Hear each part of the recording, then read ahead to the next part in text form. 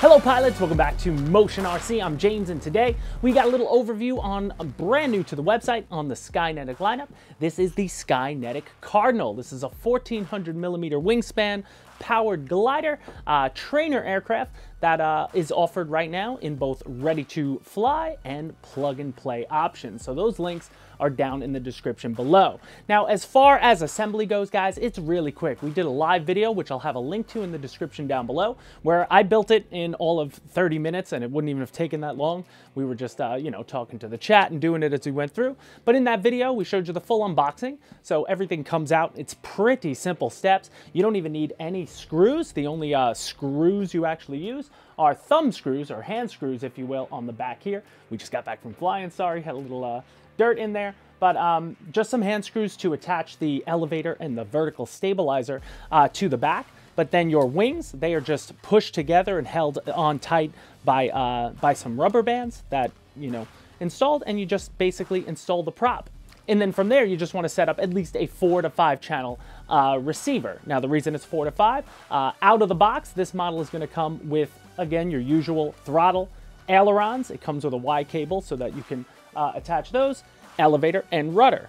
But what's great about the Skynetic Cardinal, and we offer an option for flaps molded into the wings, uh, are everything you're going to need is already molded in to add flaps to this. You just got to add the servo, the linkage, the control rods, uh, and cut the flap uh, itself, cut it out and use the foam hinge. And we talked about that in the live show, but uh, you'll see here we sell a kit that you can buy. It's about 20 bucks. That'll give you the servos needed and everything you need to uh, have the flaps installed. Also optional that you can add to this if you wanted to was an optional landing gear. There's a spot uh, on the bottom that's going to come with uh, a front landing gear and it's a little tail wheel in the back. So if you want to take off from uh, a runway and practice your takeoffs and landings, being that this is a trainer, you can do that with this model if you want to. But where this model really shines is its easy ability to uh, hand launch out of your hand, um, and again, just glide around. So this model will take a 2200 3S, is about the biggest battery you're going to fit inside. You could go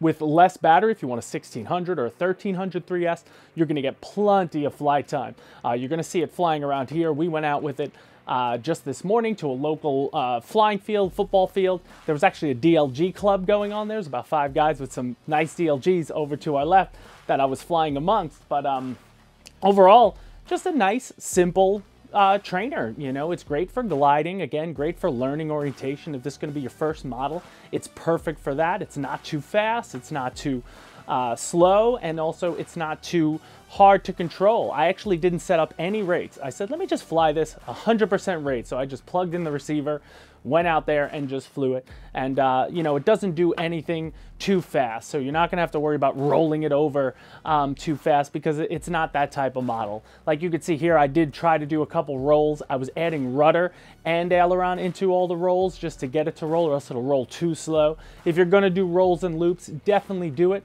a few steps high. Um, give yourself some height because, uh, you know, sometimes it doesn't make it through the roll and it wants to, it'll start diving on you. So you don't want to do that. But again, this aircraft is not an aerobatic aircraft. This is going to be great for a trainer, a beginner, somebody starting out and wants to get into something with a little size.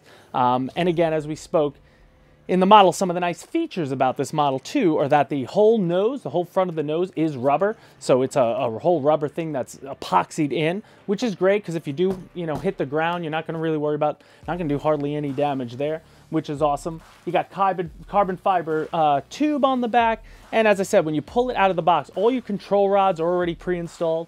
On the wings, the aileron servos and rods are already pre-installed. Uh, the only thing you're going to have to do is connect the control rods once you do a quick, easy assembly on the elevator and the vertical stab, and then just add your receiver and you'll be able to go.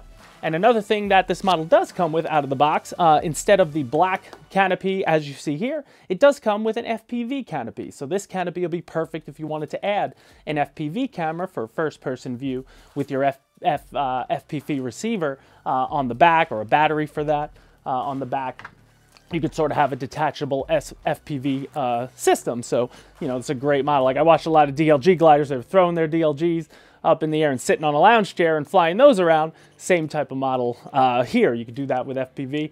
Get yourself a nice lounge, uh, get yourself a nice lawn chair, and uh, you know fly around FPV, which is something I may have to try uh, in the future. But all around, a nice addition to the Skynetic lineup. And uh, if you're interested in this type of model, guys, definitely check out the links down below because uh, the model is available right now. And again, as I said, in both ready to fly or plug and play. So it's up to you how you want to enjoy the new Skynetic Cardinal. But uh, that's going to do it for us here, guys. Thanks so much for watching, and we'll see you next time at Motion RC. Bye, guys.